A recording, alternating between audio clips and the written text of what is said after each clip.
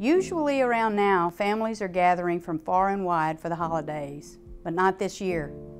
The COVID 19 pandemic has claimed more than 240,000 American lives. It has upset the financial stability of countless Americans.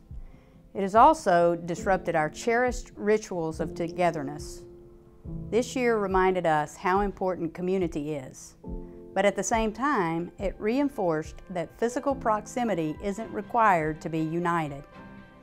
In a challenging year, I have been inspired by what we have done together, responding to a health crisis as essential workers, advocating to stop reckless payment cuts, and leveraging technology to increase participation in our association even as the virus kept us apart.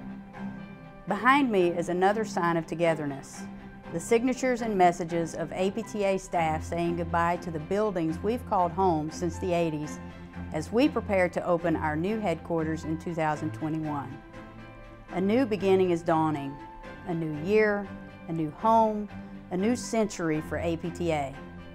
Responding to hardship with purpose and progress is what we do. It's who we are. I believe in our future.